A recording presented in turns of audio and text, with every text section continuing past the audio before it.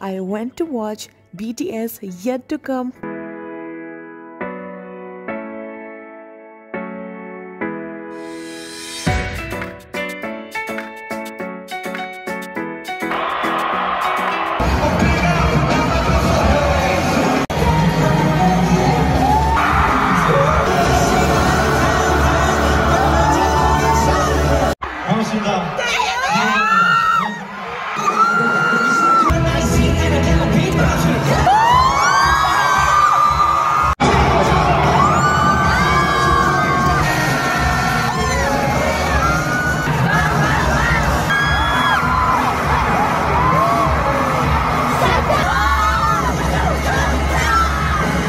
doy